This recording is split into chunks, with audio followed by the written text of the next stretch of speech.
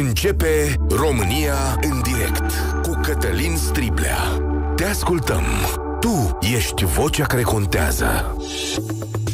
Bun găsit! Bine ați venit la cea mai importantă dezbatere din România. Sunt proteste ale agricultorilor și în Franța, și în Italia, și în Germania, și în România chiar, căci avem din nou la Sibiu și la Brașov.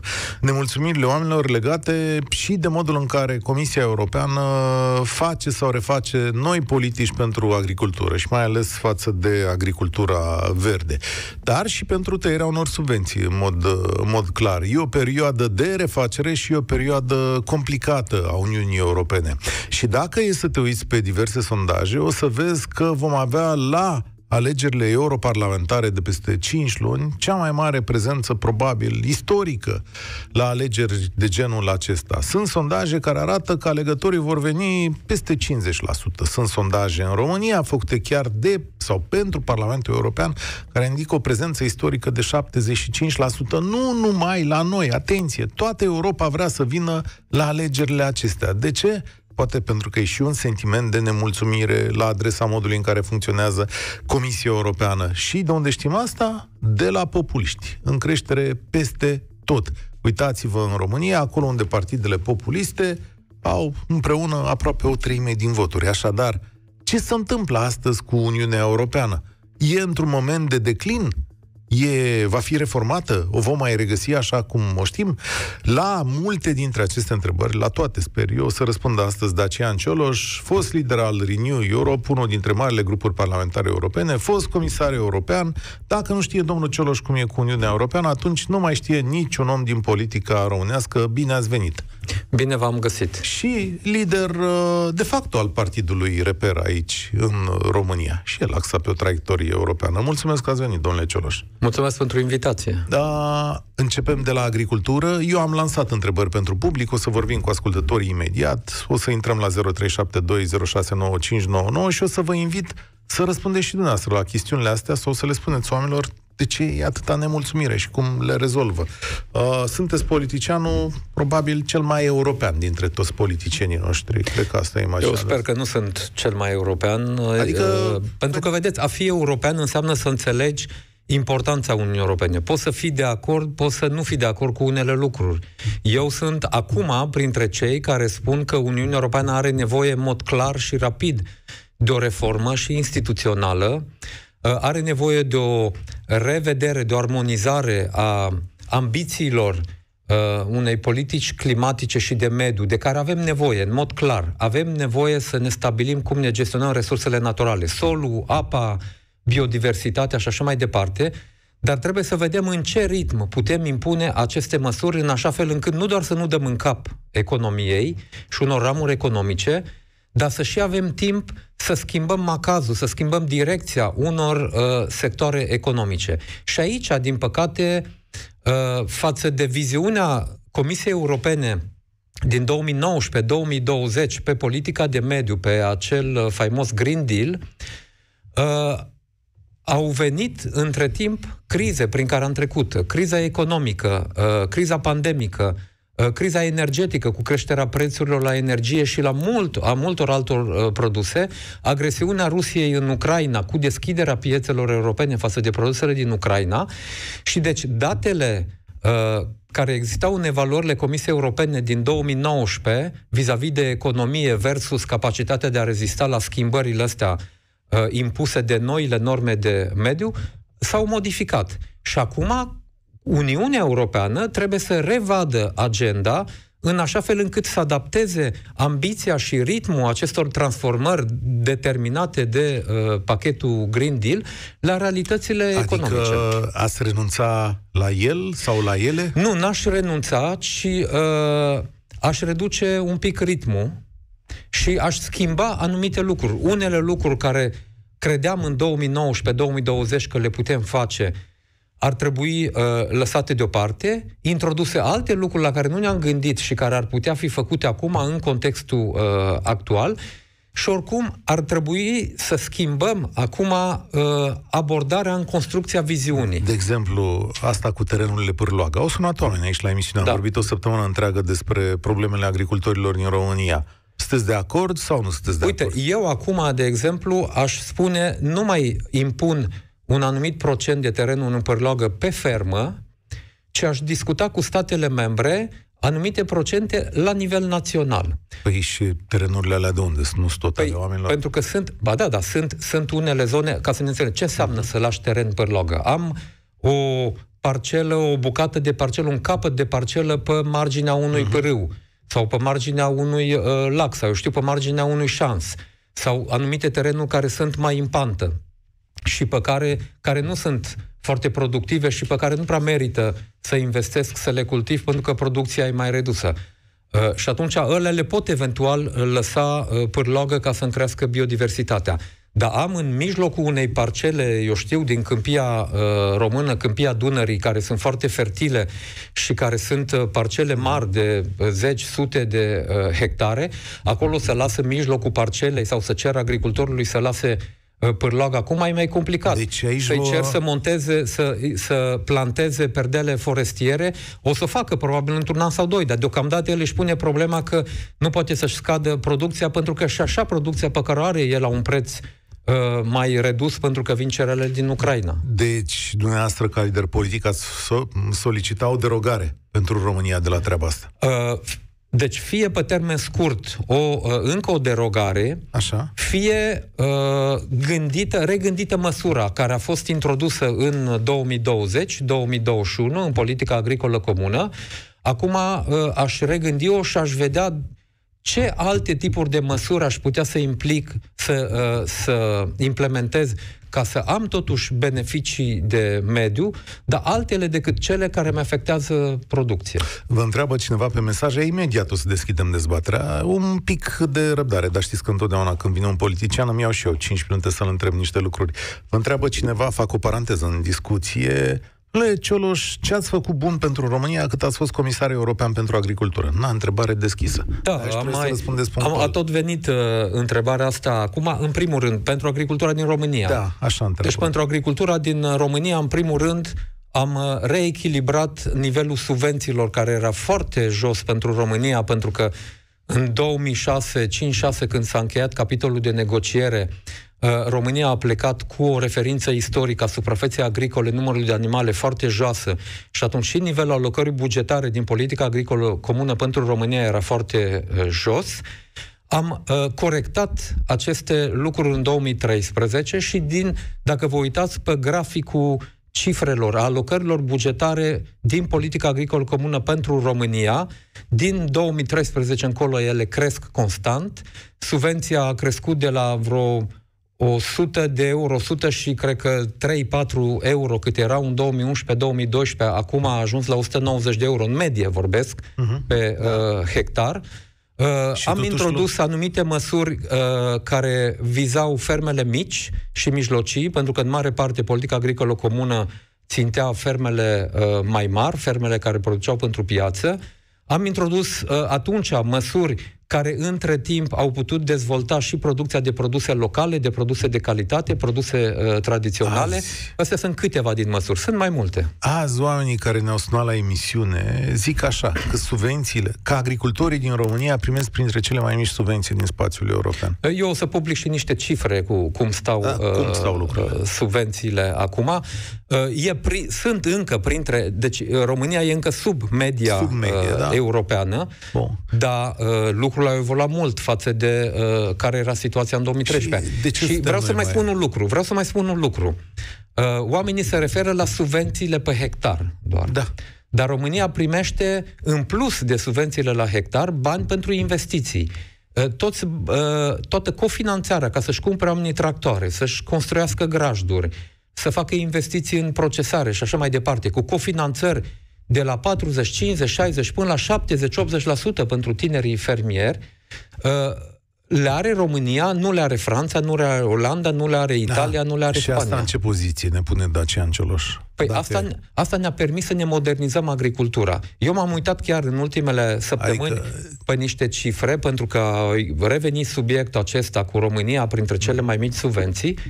În uh, România au crescut Uh, veniturile în agricultură mult mai mult procentual decât au crescut în uh, statele membre din Europa de Vest. Protestul oamenilor de săptămânile trecute a fost îndrituit și astea da, care sunt da, azi la. Da, de ce? Da, dar nu e legat de, doar de nivelul subvențiilor. E legat și de Ucraina. E, e legat de Ucraina, e legat de eliminarea unor facilități fiscale și aici lumea din înțelegea... România, e legat de creșterea costurilor la carburanți, de exemplu, la inputurile din agricultură. Ai că explicați-ne cu Ucraina. Toată lumea vede lucrul ăsta întâmplându-se în România din cauza Uniunii Europene.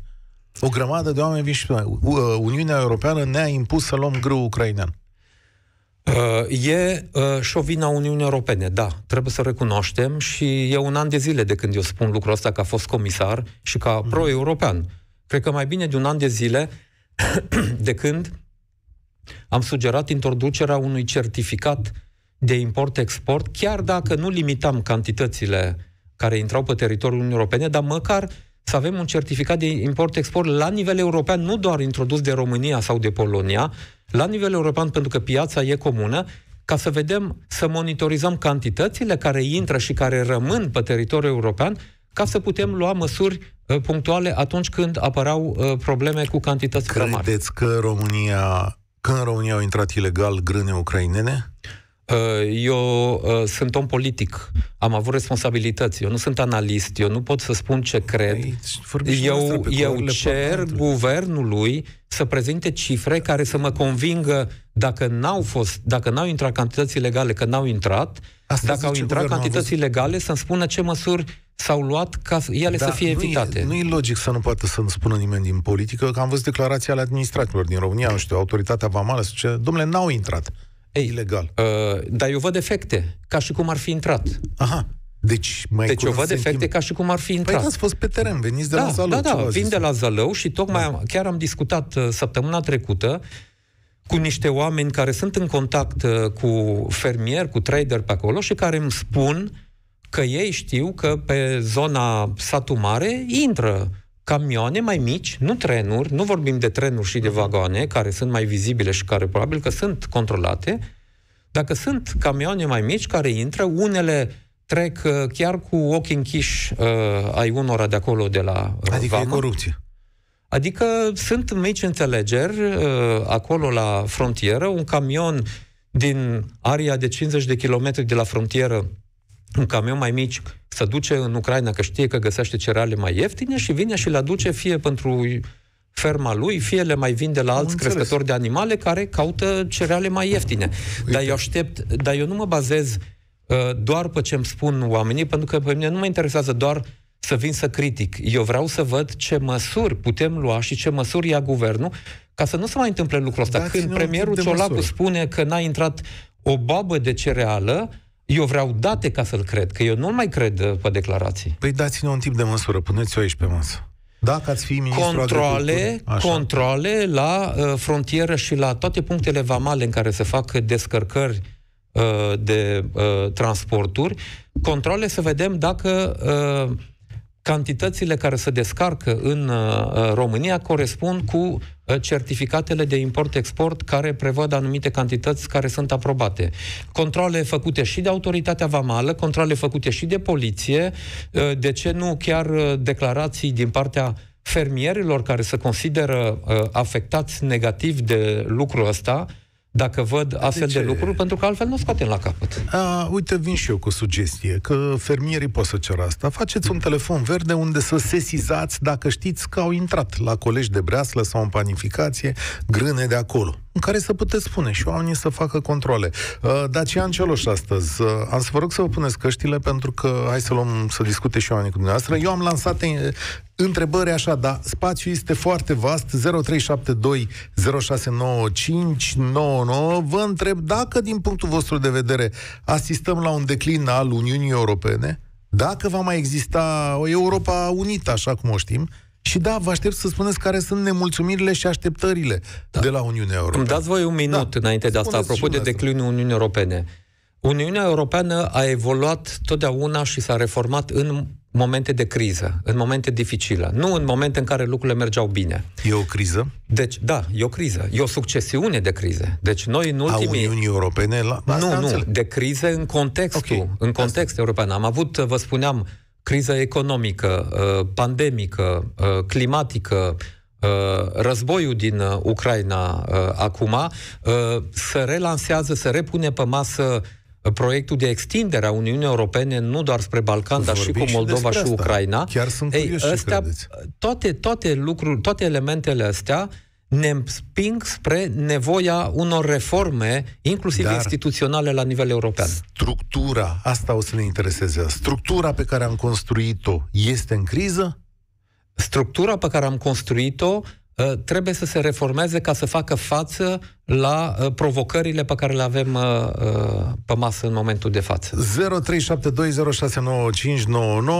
Florin, salutare, mulțumesc pentru răbdarea îndelungă, da? O să vorbești cu domnul Cioloș și uh, recuperăm. Salutare! Bună ziua tuturor! Bună ziua! Așa vă sun.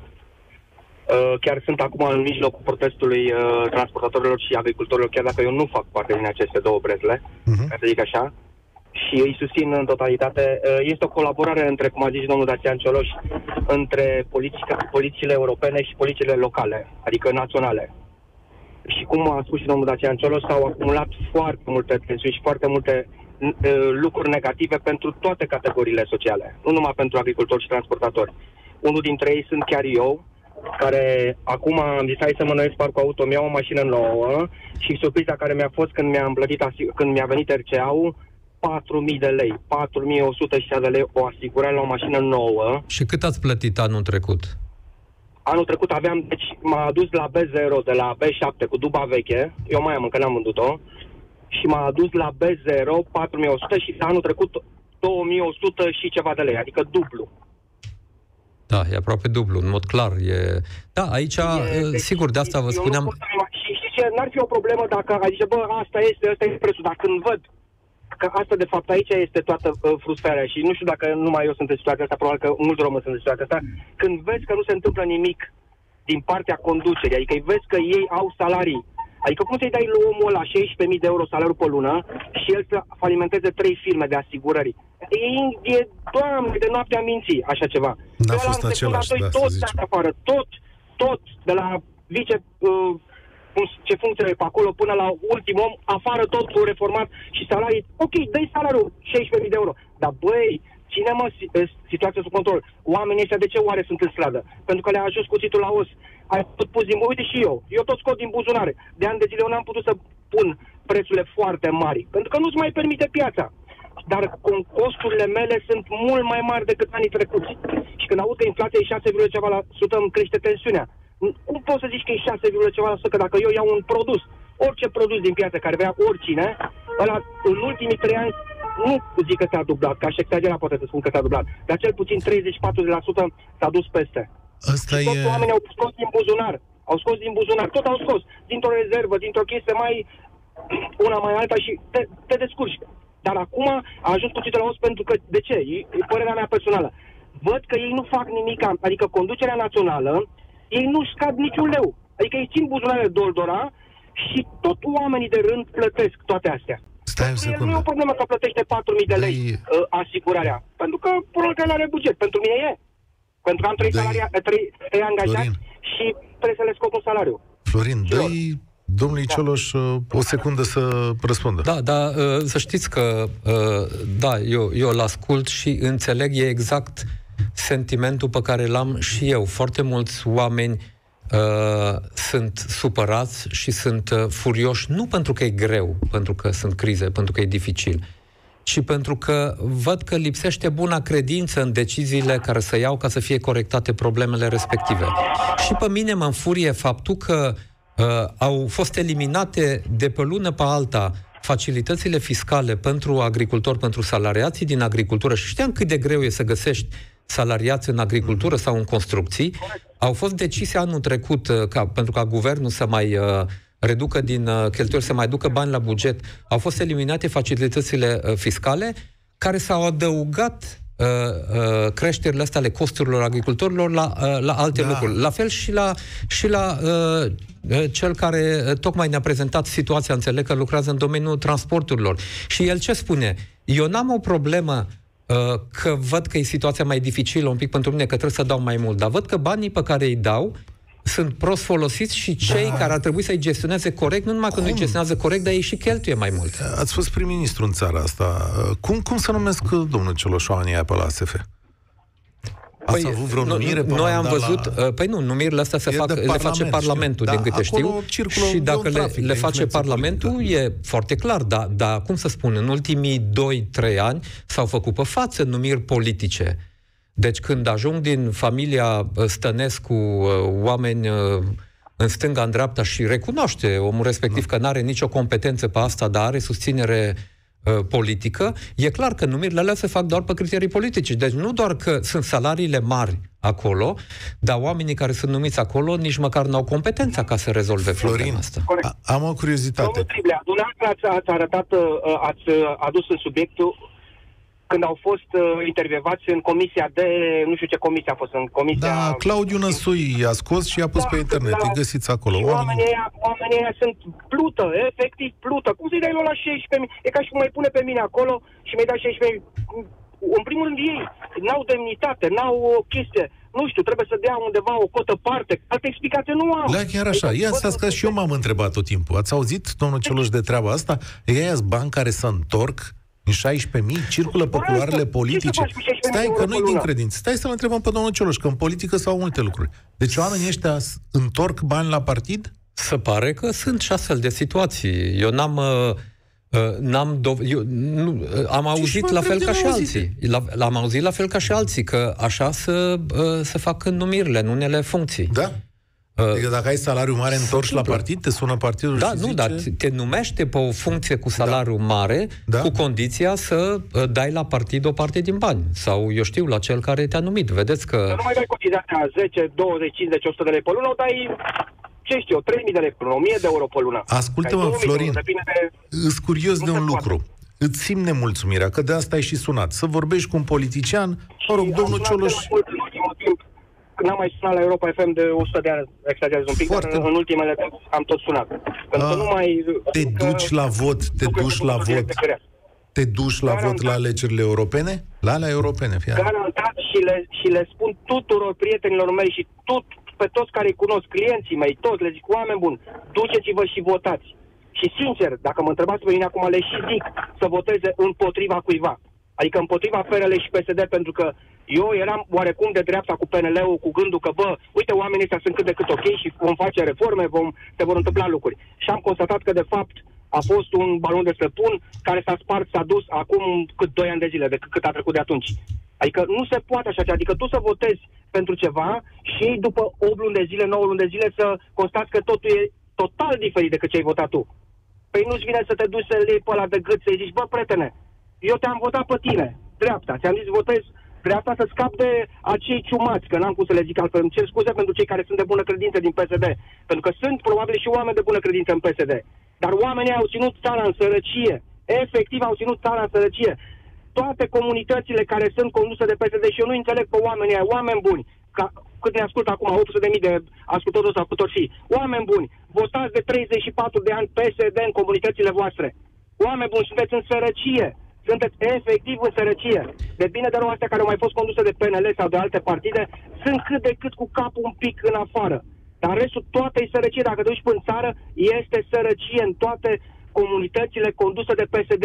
Și eu când văd sondajul acum asta de 29% PSD, eu nu pot să cred că suntem masochiști. Uh, noi românii, nu știu, e incredibil. Vezi ceva mai rău acolo. de 29%. Da, noi, noi avem... Uh, ce, sondajele noastre ce zic? Noi avem... Păi nu, sondajele, bun, cu o marjă, uh, acolo sunt. Uh, Astea pe care le-am văzut Acolo sunt uh, sondajele, pentru că avem o parte a uh, societății care o duce foarte rău și care consideră că Uh, varianta e una pe termen scurt de creșterea locațiilor, a salariilor și e nevoie de creșterea a salariilor, a salariului minim. Dar uh, noi nu ne uităm, așa cum uh, spunea și ascultătorul nostru, la cei care cotizează la bugetul de stat și care își plătesc dările pentru că produc uh, în țara asta. Acolo e problema cea mai mare, nu la faptul că noi creștem salariul minim, că trebuie să crească și în construcții și în agricultură ca să putem atrage oameni, că uitați, uh, trebuie să aducem uh, uh, forță de muncă din uh, import.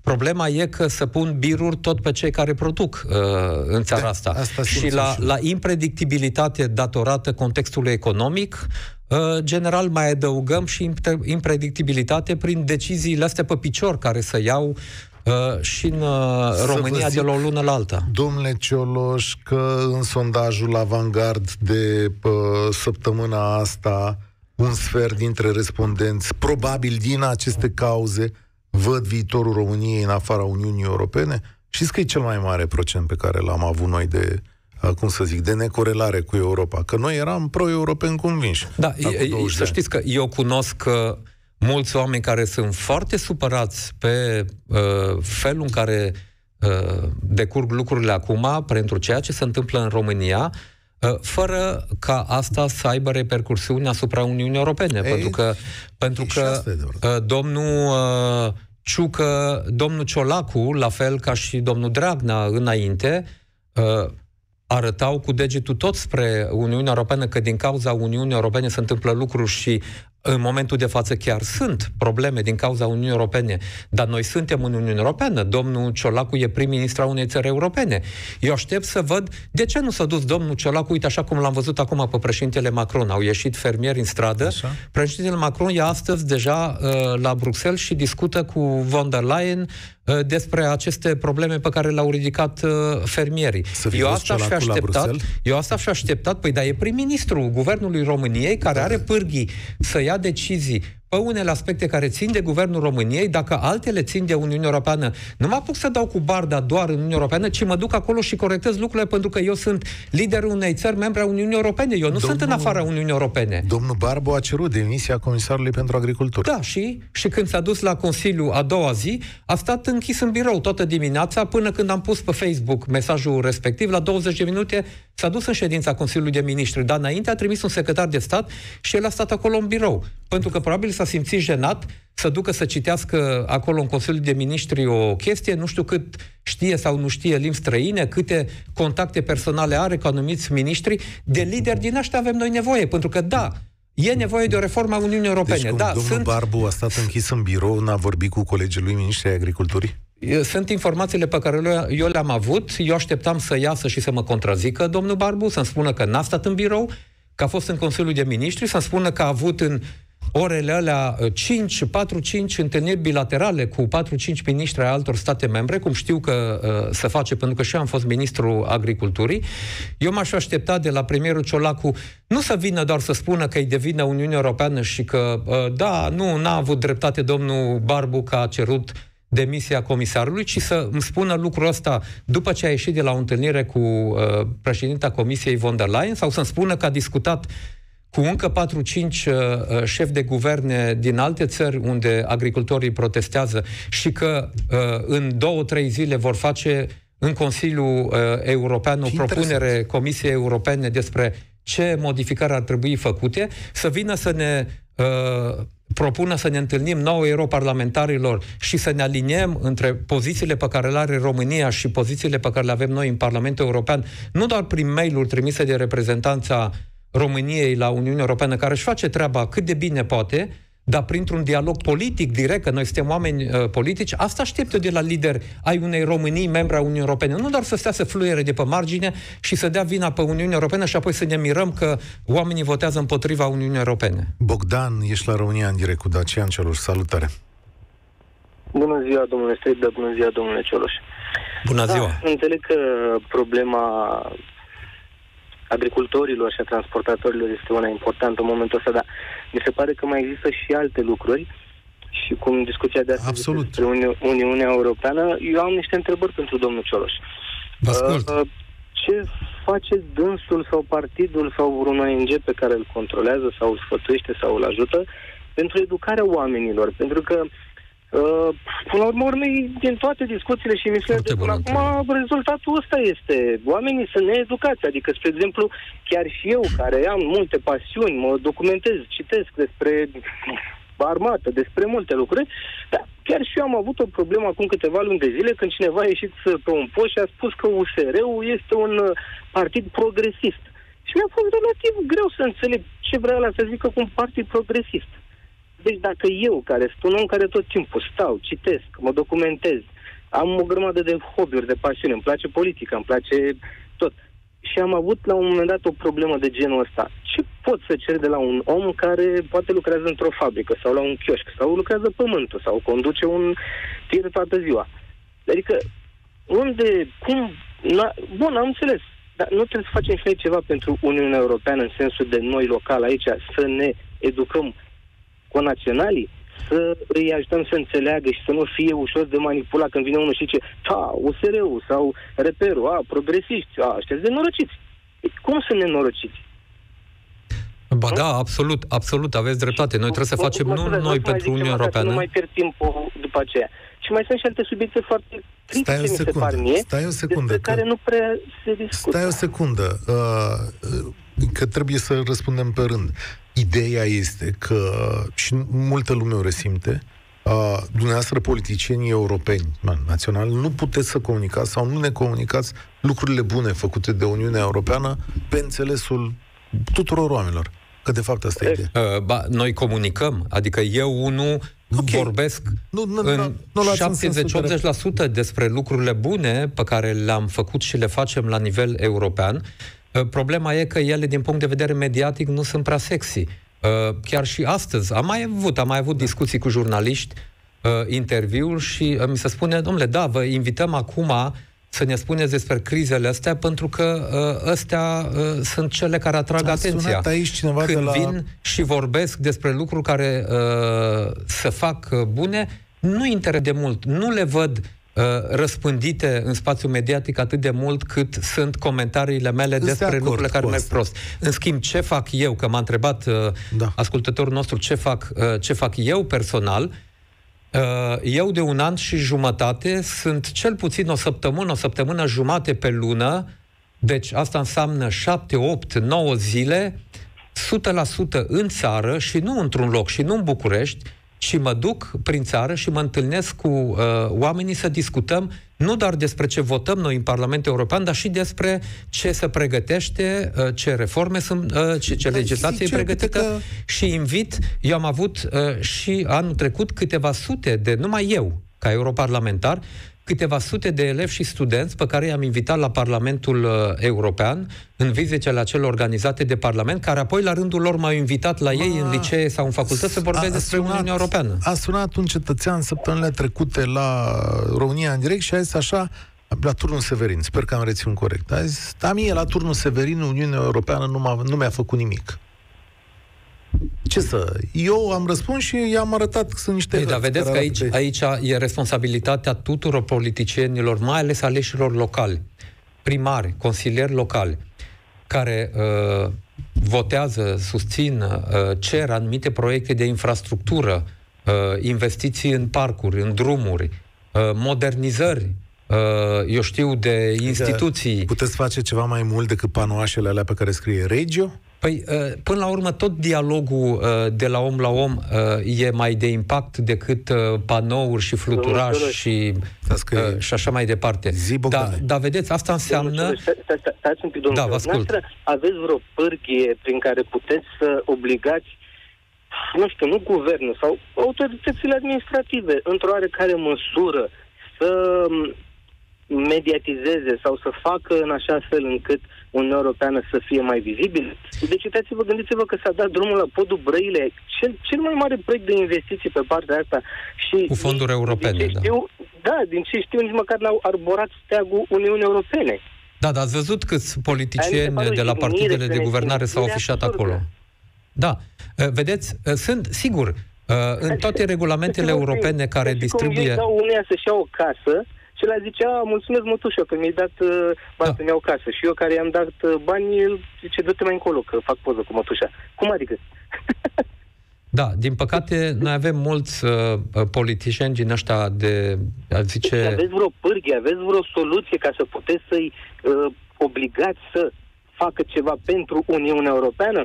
Și nu doar Uniunea Europeană pentru noi. Eu adică, vă spun din experiență. Mulțumesc, nu? Eu vă spun din experiență, din obligație, poți să corectezi anumite lucruri, dar nu poți să le faci mai bune. Când un om face ceva din obligație, impactul nu e același ca și atunci când o face din da, convingere. Da, asta naște altă întrebare. Credeți că grupul politicienilor locali aici din România, celor de nivel mediu, primari, președinți de Consilii Județene, parlamentari, crede cu adevărat în Uniunea Europeană sau e doar ceva care dă bani?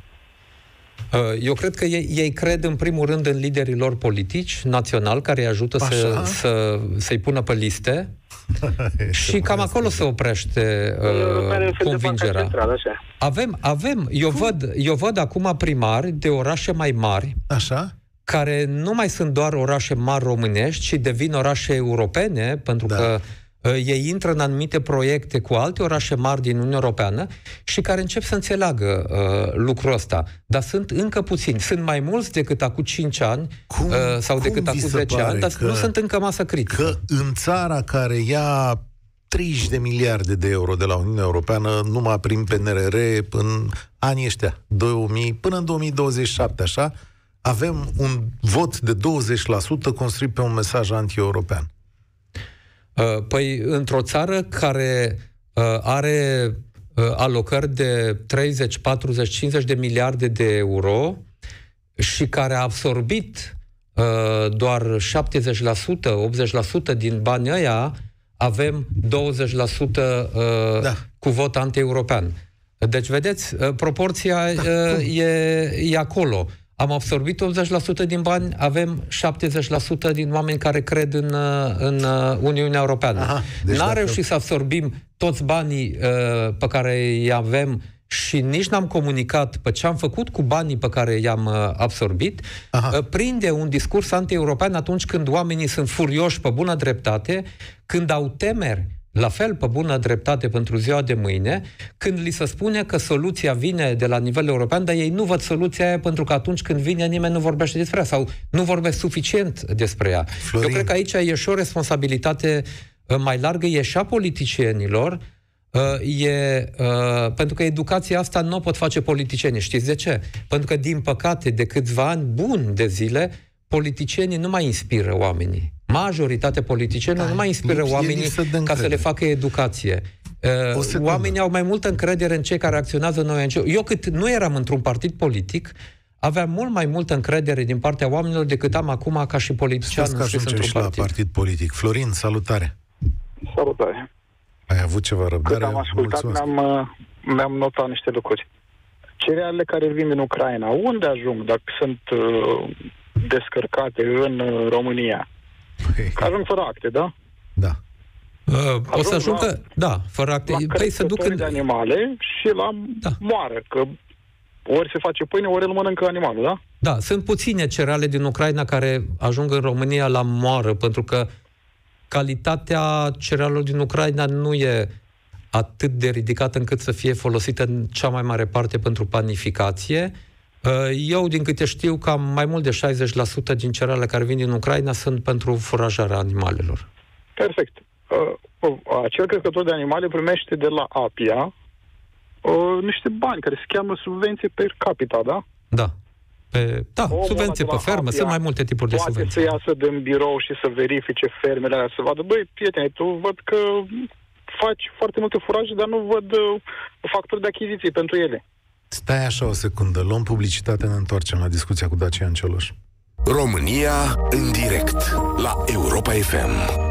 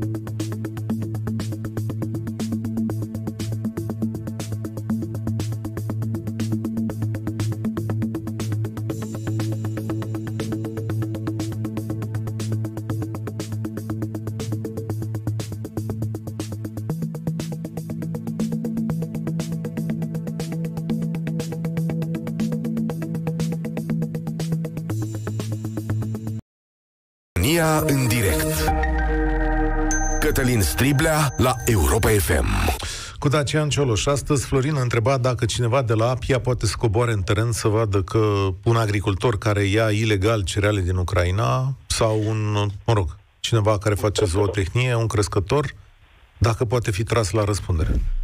Sigur, el poate fi uh, tras la răspundere de autoritățile fiscale.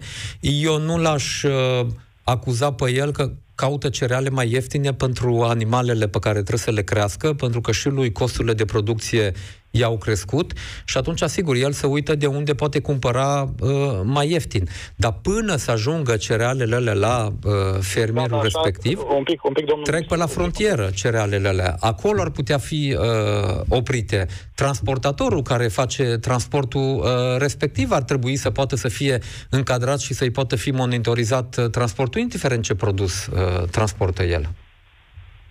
Da, așa aș vrea și, și eu să cumpăr diverse produse fără taxe. Pentru că și eu pot să mă pun în aceeași uh, situație cu crescători de animale. Aș vrea și eu să cumpăr motorina mai ieftin, să mă duc în Ucraina să o cumpăr de acolo fără să mă întrebe nimic, nimic și așa mai departe, nu? Da, nu, nu, deci eu, eu nu-l scuz. Nu putem să spunem că... Eu nu-l scuz okay. pe cel care, indiferent că e agricultor sau nu, pe cel uh, care încalcă legea. Eu ce spun e că până să ajung acolo, ar trebui să existe alte pârghii. Dacă noi am avea pe bune un control la frontieră uh, și nu să blocăm uh, uh, camioane care altfel ar putea să treacă ușor pentru că au uh, documentele și să lăsăm să treacă alte camioane pentru că probabil dai o mică sau o mai mare șpagă celul care e acolo. Mai clară. Pentru că nu știu cât poate APIA să uh, controleze ce are respectiv un hamal. Nu e responsabilitatea APIA, e responsabilitatea autorităților fiscale să te verifice dacă tu uh, ceea ce consumi sau ceea ce vinzi în fermă o faci uh, respectând legislația și uh, făcând înregistrările contabile respective. Nu, tocmai eu spuneam că sunt multe pârghii prin care ar putea fi controlat. Da, dar să știți că el, pe transportul respectiv, el poate să aibă acte, adică uh, el poate să aibă o factură pe care a plătit-o în uh, Ucraina celui căruia i-a cumpărat uh, cerealele. Uh, ăla din Ucraina, cel care vinde cereale din Ucraina, lui nu i se interzice să facă factură celui care le, le vinde. Problema în acolo. Nu, nu e că e interzis să facem noi comerț acum cu Ucraina, că nu e interzis de nicio lege no. și de nicio decizie. Uh, interzis e sau există restricții pe cantitățile care intră, ce, ce a spus guvernul României când a introdus cu guvernul Ucrainei acele certificate de import-export, a spus putem accepta să vină anumite cereale să se oprească și în România, dar doar dacă noi suntem informați și dăm în prealabil un acord pentru ca acele produse, acele cantități să vină și să se oprească în România, pentru că e nevoie de unele dintre uh, ele.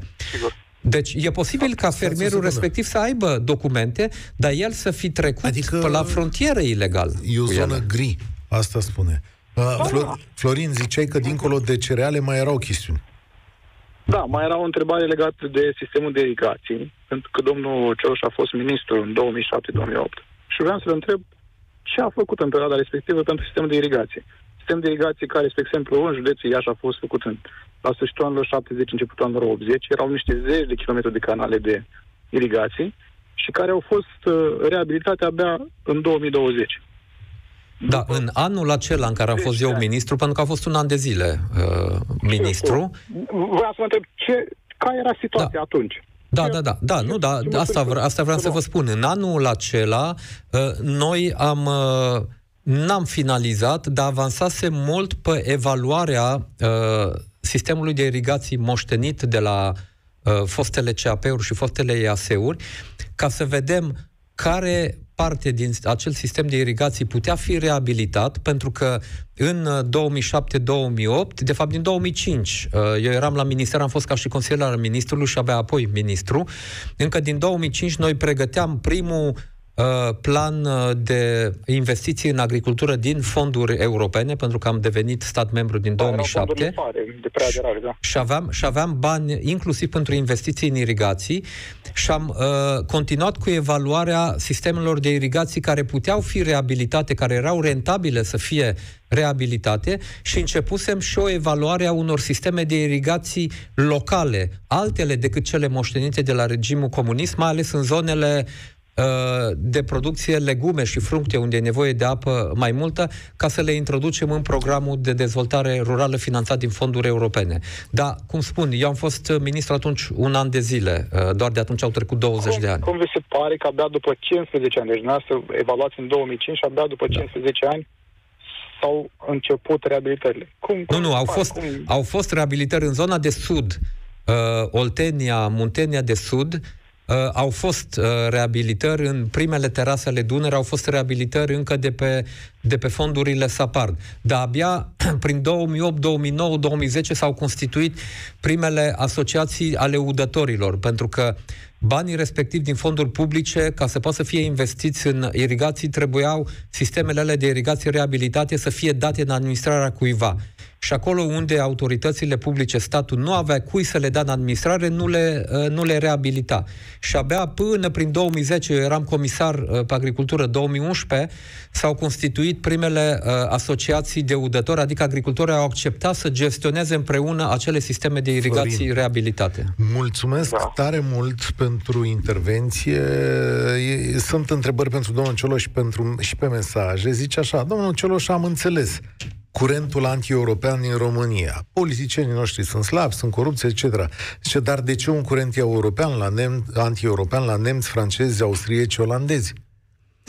Uh, pentru că, uh, pentru că și acolo sunt uh, uh, probleme legate care țin de modul deficitar a funcționării unor instituții uh, europene.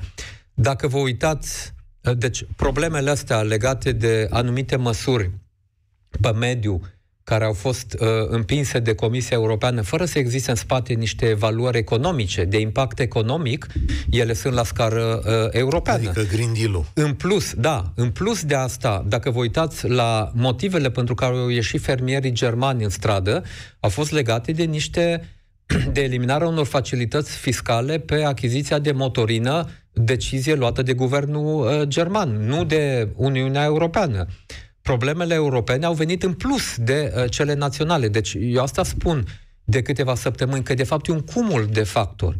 Dar Pro... care o să deconteze politicienii pro-europeni, din câte se pare. Vă recomandă cineva să fiți, uh, să fiți populist. Pentru că, are observație aici, dumneavoastră o să vă adresați doar publicului educat din România, care este din ce în ce mai puțin. Asta zice unul dintre ascultătorii noștri.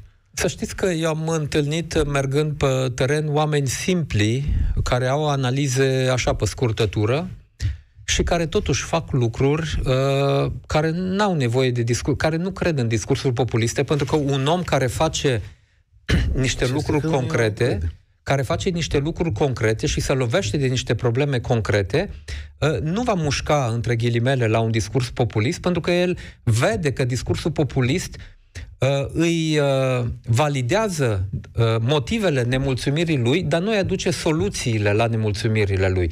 Eu n-am văzut de la partidele populiste anti-europene vreodată o soluție viabilă. Am văzut chiar populiști anti-europeni care au ajuns la guvernare în țările lor și care au redevenit europeni și care lucrează acum în colaborare cu alți lideri europeni să-și rezolve problemele pentru că nu pot rezolva problemele Cosmin. doar cu discurs anti-european. Cosmin, salutare, ești la România în direct. Uh, bună ziua și noastră și invitatului. Bună ziua! Uh, pentru telefon. Uh, problema se pune și se poate fi tranșată în cuvinte puține, fără a merge și a indica uh, uh, vinovați uh, direct sau analize uh, tehnice. Chestiunea este în felul următor. Oamenii s-au săturat de țeapă. În sensul că statul, în cazul nostru, statul român, uh, Uh, nu le uh, urmărește interesul sau nu le protejează interesul și nu acționează în interesul propriilor cetățeni. Asta este senzația pe care o resimțim toți uh, de la mic sau la, la mai mare. Dar cine Pre în statul român? Pentru că, vedeți, ar trebui să punem uh, din ce în ce mai mult, cred că nume și prenume și să ne asumăm și de o parte și de alta asta, pentru că atunci când generalizăm și spunem statul, țineți minte că și pe vremea comunismului oamenii își justificau furtul prin faptul că frau de la stat ei. și statul e al nimănui. Da, cine da, de la stat acum, cine vă nemulțumește? Că eu cred că ar trebui să începem și discuția asta Vă, uh, vă rog să nu interpretați ca pe o, ca un atac personal. Dar nu, nu, inter... nu eu, eu mi-asum nu. inclusiv uh, greșeli pe care le fac eu, că nici da, eu nu sunt uh, sincer, sfânt. Din vedere intelectual, ca fiind un nivel foarte, foarte înalt, sincer vă spun. Um, iau un exemplu, chiar dacă nu are um, legătură, pentru a vă răspunde la, la, la întrebare. Ordonanța 6, care a fost declarată neconstituțională. Declarațiile doamnei Prună, care spunea că interesul individual uh, nu contează și așa mai departe, dar fără a divaga în altă direcție. Și asta e o chestiune punctuală și asta, din păcate, uh, starea asta de nemulțumire este generată nu de un politician anume sau de un partid anume, pentru că dacă îi analizăm, uh, în esență, dincolo de doctrina care este povestită, comportamentul în ultimii 34 de ani este același, adică interesul personal sau de grup restrâns, în, în contradicție cu interesul colectiv al societății, al românilor. Uh, nu au fost luate, cu mici excepții, nu au fost luate măsuri care să sprijine. De exemplu, anul trecut agric- în agricultură am arat cu aproape 9 lei litru uh, de motorină uh, la însămânțare. Care credeți că va fi costul pâinii dacă e 9 lei însămânțarea? care va fi, uh, uh, cum zice, profitul sau câștigul, măcar pe linia de plutire, măcar pe zero să ieși. Mai punem neprevăzutul. Nu a dat statul român niciun fel și nu a strigat niciun politician uh, nu a strigat acest lucru, haideți să ajutăm agricultura pentru agricultură, cum se întâmplă, de exemplu, în Danemarca. Haideți să reducem acciza sau să înlăturăm acciza strict pentru carburantul folosit de tractoare sau de utilajele agricole.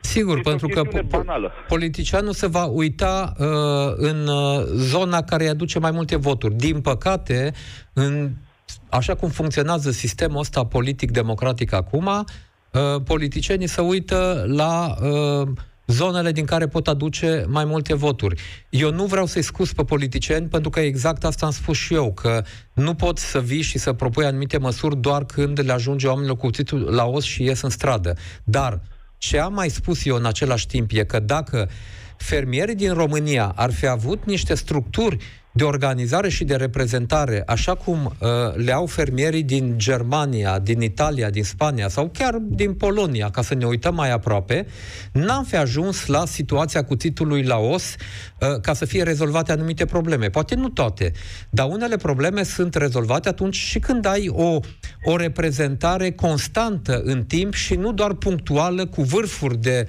protest în anumite momente. Deci cred că sunt multe reforme care trebuie făcute și în mediul politic, dar sunt evoluții care uh, trebuie să le vedem și în mediul profesional. În momentul de față sunt câteva organizații agricole care sunt păstorite de lideri politici ale unor partide și pe care le Dar, folosesc politic. A, adică... Problema este în felul următor. La începutul emisiunii, mi a spus că nu credeți, că nu puteți ca un politic, foarte frumos o politic răspunsul, chiar vă spun sincer, chiar mi-a plăcut, e o chestie de învățat. Nu da. puteți ca un politic să spuneți dacă a intrat sau nu a intrat uh, ce, ce, au cereale ucrainiene da, pentru că, și trebuie să vă spun pentru că nu, pentru că nu, uh, nu știu, eu, n-am, eu n-am făcut investigații pe teren. În sensul ăsta am zis. Adevăr, adevărat. Da. Și statul, prin ministrul să vă răspundă prin uh, uh, da. situațiile pe care le primește de la instituțiile abilitate într-un moment sau altul, uh, să vă comunice acest lucru. Deci statul, din punctul nostru de vedere, are o situație și o radiografie corectă Ar trebui să aibă. economic. Păi, și atunci dați vina pe agricultori, dați vina pe noi că... Dar nu, eu n-am dat vina pe agricultori. Tocmai. Păi nu, că dacă eram ca în Spania... Nu, problema, problema este că de 34 de ani, statul român, prin reprezentanții lui, nu a urmărit interesul național, indiferent de domeniu, indiferent de, de, de ramură. Da, eu, deci eu tocmai de asta v-am spus uh, uh, că nu scuz politicienii pentru că eu sunt primul care cred că e nevoie de o reformă și în politică, inclusiv în partid. Asta e motivul pentru care m-am înscris într-un partid. Ce spun eu e că pentru o reprezentare pe termen mediu, pe termen lung a intereselor agricultorilor, nu-i suficientă bună credința statului sau a unor politicieni care se vor uita, pentru că sunt mai multe categorii uh, profesionale care trebuie susținute și oricât de cu bunăvoință ai fi ca politician, în unele momente trebuie să alegi în ce direcție te duci, care sunt prioritățile. Interesul, corect. Ce spun eu, da, ce spun eu e că strict vorbind de agricultură, în plus de uh, a avea politicieni care să înțeleagă mai bine mecanismele de funcționare a uh, agriculturii, a pieței agricole și așa mai departe, lucrul ar merge mai bine și dacă am avea o mai bună aș reprezentare vrea... a agricultorilor. Sunt aș... de acord cu dumneavoastră aș... pentru că trebuie să fie un dialog și regulile... regulile exact, și ca să fie un dialog trebuie să fie partener. Aș vrea să fac și eu o remarcă, nu mi-o luați în nume de rău, asta cu interesul național. Mie mi-e greu să cred în generalizarea asta că niciodată niciun politician în România în 30 de ani nu a ținut cu interesul național. Și asta... asta... o Trandafir vă spun sincer, este unul care mi-a rămas în minte. Bine, e o okay, generalizare este întotdeauna să... greșită și aveți dreptate, domnul okay. Nu, nu se face niciodată apreciere generală pentru că da, ne duce totdeauna N-aș la vrea să confundăm interesul național, de exemplu, cu scoaterea accizei, pentru că interesul național e un pic mai vast, adică în momentul în care se scoate acciza de la agricultură, niște bani nu intră pentru știu eu ce alte proiecte are statul și atunci, fără a fi părtinitor... Da, puteți să spuneți. Da, și sunt perfect de acord cu dumneavoastră și asta urma să spun. Este o vorbă românească, tot în bou care trage dai. Cu alte da. cuvinte, în cei care sunt cu, acord. Cu, cu, cele, cu cele cu toate la zi, cu, cu toate fiscalizate, uh, cu toate înregistrate, tot aceia vor fi împovărați. Problema statului, și ea nu este, nu este o scăpare, este o chestie organizată, problema statului este colectarea deficitară și, să zicem, multinaționalele, Sistem. evaziunea fiscală și așa mai departe, pe care statul se face că nu le vede. Acei de bani cu nu rămân doar parțial, la cei care să... Parțial de acord cu dumneavoastră, dar de acord. Principiul ăsta este. Avem ha. o grămadă de oameni în țara asta care nu-și plătesc taxe. Nu da, e vorba de plătit taxe, că dacă e datornic, e cu ele la vedere, nu, poți executa asta, sau ai păi, Nu, nu, care își ascund, care generează venituri ilegale. Asta, despre asta vorbim, da. O, o, Cosmin, mulțumesc tare mult. Încerc să mai fac loc pe fir uh, și altor oameni, dar mai am, Vali, uh, stai un pic acolo. Uh, v-am auzit, uh, am fost acum la întâlnirea Reper din luna decembrie, noiembrie-decembrie, da? V-am auzit că o să candidați la președinție. Nu m-am înșelat, cred că a fost destul da, de clar. Da, candidați da. la președinție, da? Da, asta e intenția mea. În momentul de față, Acum, uh, bun, sunt uh, realist că o astfel de intenție are uh, șanse dacă să mai petrec și alte lucruri decât strict intenția și obiectivele mele. Dar, da, eu intenționez să candidez la prezidențiale. Mi se pare că funcția prezidențială în România, în contextul actual, e una cheie. Președintele României ar trebui să joace un rol de moderator activ în societate, nu doar în mediul politic, între partidele politice, și și între mediul politic și societatea, acea parte din societate care face lucruri pe teren, pentru că avem foarte motiv, multe motive să fim supărați de cum merg lucrurile în țară, avem și, din punctul meu de vedere, uh, motive de optimism când ne uităm pe teren și vedem oameni din societatea civilă, din mediul antreprenorial, care își fac treaba în ciuda dificultăților okay uh, disfuncționalităților statului și așa mai departe. Și aici, cred că pentru a pune în valoare astfel de lucruri pozitive, președintele are un rol important pentru a aduce această experiență în uh, reformarea statului. Președintele are un rol cheie pentru ca România să joace un rol mai activ la nivel european, președintele are un rol cheie și de asta Cine... cred că experiența pe care am acumulat-o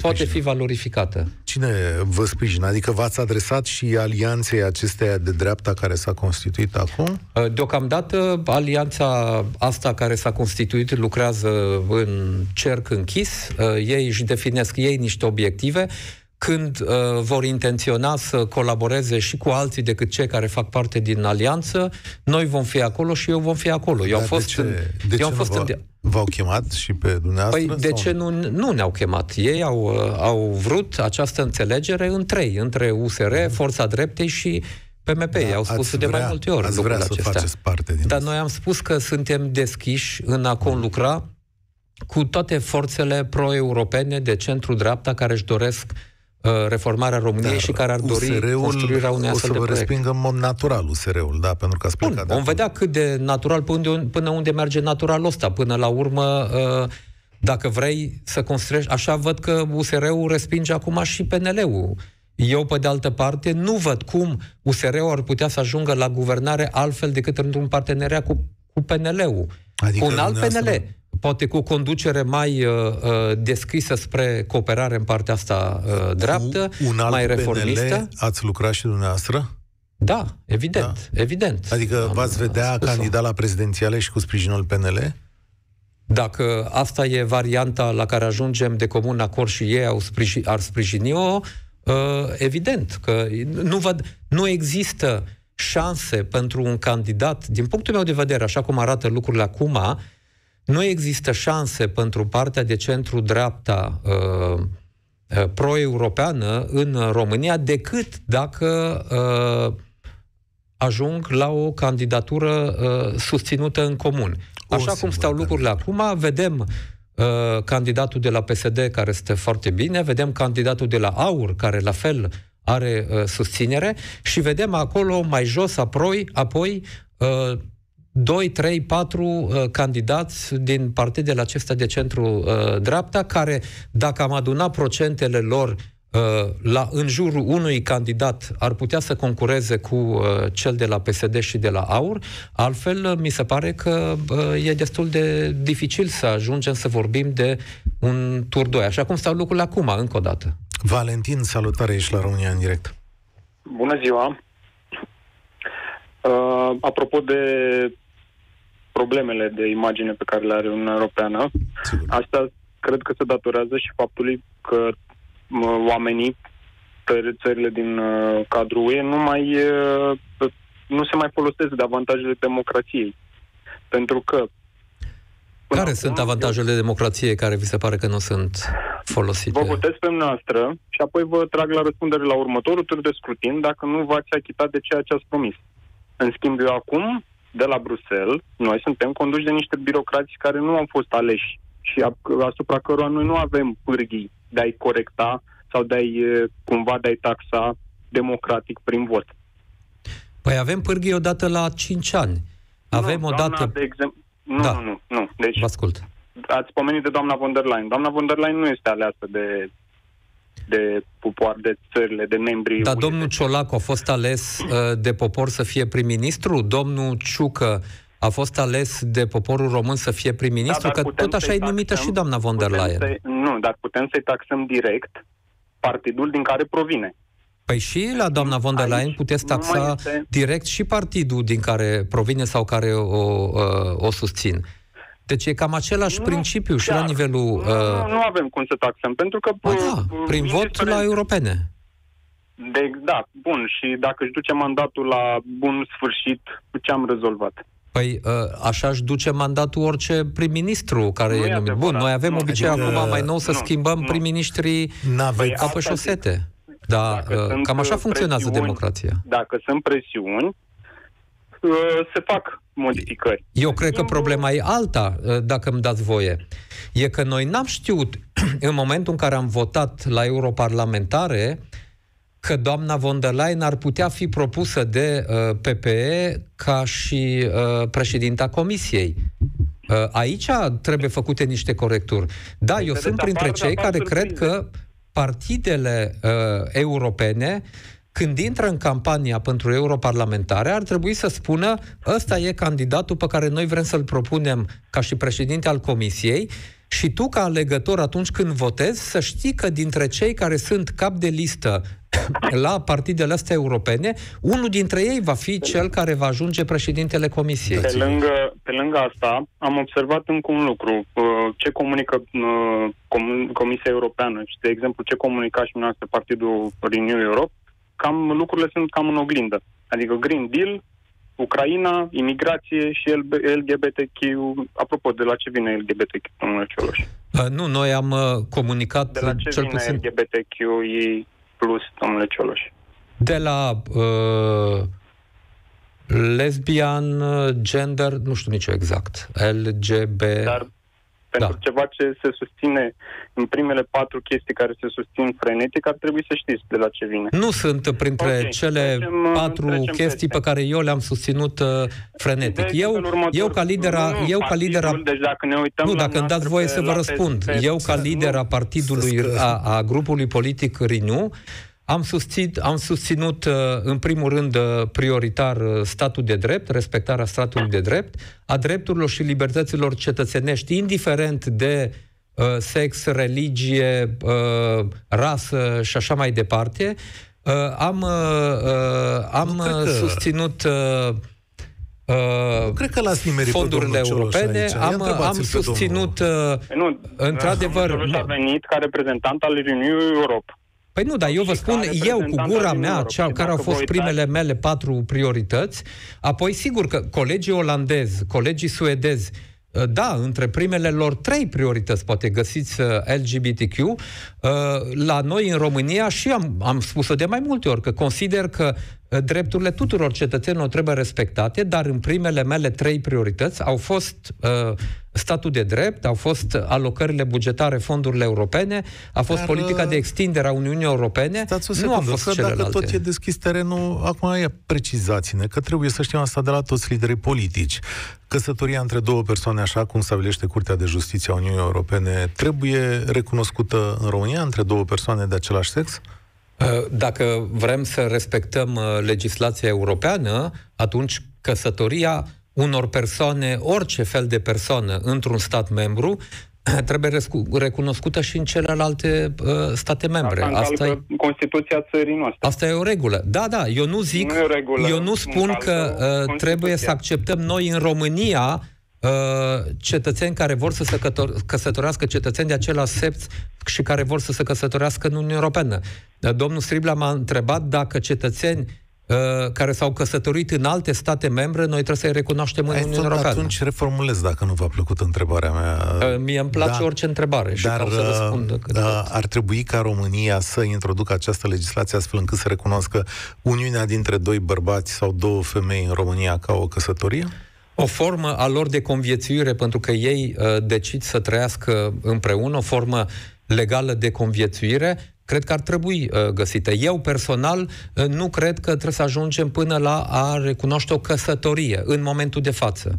Uh, eu cred că mai avem nevoie de a dezbate acest subiect în societatea uh, românească și să vedem care sunt modalitățile uh, cele mai bune de a recunoaște integrarea socială a unor astfel de cetățeni, așa cum ar trebui să recunoaștem drepturile și libertățile oricăror Uh, cetățeni. Așa cum, eu știu, cetățeni străini care vin în România și cer anumite drepturi, uh, trebuie să discutăm despre Vali. cum îi, îi integrăm, uh, la fel cum cetățeni români care sunt străini în alte țări caută să se integreze acolo. Din ce... perspectiva asta largă, cred că orice cetățean Uh, are dreptul să îi se recunoască uh, integrarea în societate. Căsătoria, să, să integrăm în, să, să uh, recunoaștem căsătoria, eu cred că în societatea românească sunt încă uh, lucruri care trebuie discutate și ăsta e unul dintre lucrurile care încă trebuie discutate ca să nu trezească emoții și să luăm o decizie uh, ținând cont timp. și de ce emoția, uh, așteaptă oamenii. de la Emoția vine din, uh, din exemple clare din țările care deja au uh, intrat pe acest uh, făgaș. Și anume, sunt situații în care nu pot, uh, sunt bărbați care se identifică drept femei și vin uh, și se schimbă în același vestiar cu fetele, cu copiii. Sau sunt bărbați care se, la fel, se identifică drept femei și participă la competiții sportive și vă dați seama că le demolează pe da. Dar știi ce? Aici trebuie să-ți curm curiozitatea, deși ne mai dați colegi un minut, că sunt curios ce zice domnul Cioloș la chestiunea asta. Am depășit timpul emisiunii și asta lungă, așa cum avem. Uh, exact, de, dați... exact de asta spun că pe astfel de subiecte a impune o decizie doar pentru că ea e o decizie uh, politică, nu cred că asta va rezolva problemele. Și dânsul are niște întrebări la care trebuie să găsim răspunsuri ca societate. Uh, pentru adică... că dar ce uh, credeți dumneavoastră? Asta e Pentru că sunt... Păi, uh, Dar ce credeți dumneavoastră? Uh, da, sunt oameni care... Uh, Pot participa... Care cer, își cer schimbarea trans. de sex și e dreptul lor să uh, o ceară. Eu nu intenționez să-mi schimb uh, sexul. Asta, Eu nu încurajez pe nimeni să facă lucrul acesta. Nu de răspuns. Nu, nu, da... Ați fi de da, acord da, cu bărbații trans să participe să... la competiții de femei, că era destul de simplu ce Nu cred că e cazul. Ok, bun. Da, da, da, întrebarea care se naște imediat după aceea, unde le permitem să participe bărbaților sau femeilor uh, trans? în momentul uh, în care se declară lucrul ăsta. Unde le permitem? Unde le permitem? Ce unde? facem cu ei? Pentru că uh, eu uh, sunt de acord că trebuie să ținem cont de anumite sensibilități, de anumite uh, realități, în același timp trebuie să le dăm și lor un răspuns. Eu despre, în sensul ăsta spun că okay. trebuie să avem o dezbatere și să nu mergem doar pe scurtătură. Adică nu e suficient să spunem da sau nu, ci bun, ce facem, care e etapa următoare? Asta lipsește. Mulțumesc tare mult. Dacian Cioloș la România în direct. Ne auzim și mâine. Spor la treabă. Participă și tu. România în direct, de luni până vineri, de la ora 3